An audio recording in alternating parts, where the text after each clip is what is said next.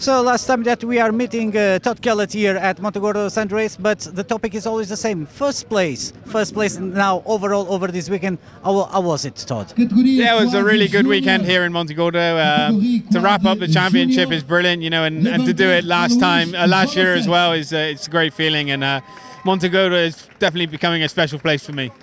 Um, comparing to last year, last year we you make also almost a comeback from the dead to come here.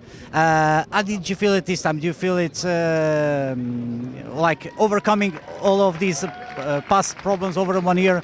Yeah, definitely. Uh, last year I had some challenging situation, and uh, and again at this period I'm building and building for for the French Championship and uh, Enduropale 2K for next season. So um, yeah, it, it's really nice to to use this race as a stepping stone and, and take good confidence into the remaining of the French Championship.